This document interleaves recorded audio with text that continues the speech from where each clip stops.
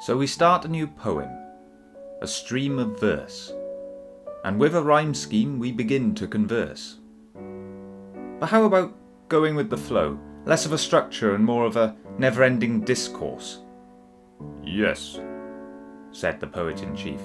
That's a good idea. But how many lines? What sort of syllabic construct should we use? It doesn't matter, really, said the poet in chief. Oh, look at that. You've got the tense mixed up again. Pick one for the next stanza and stick with it. Here goes a present tense poem.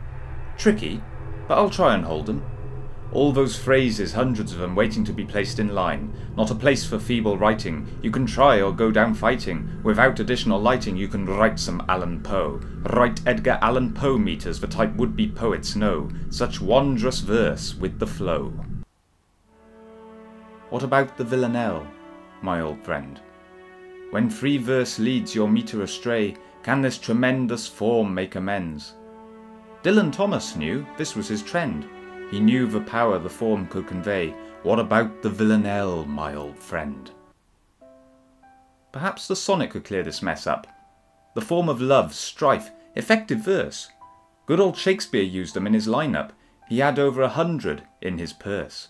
To be used when love or grief would beckon, and all his inner thoughts came spilling out, though there are many scholars who reckon they're not sure who he was talking about.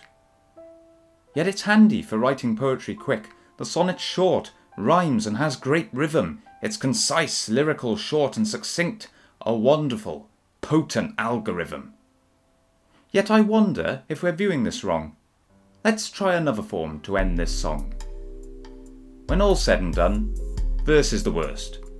So many meters and forms to rehearse, still you can use any form or none at all when you ride down the poetry waterfall.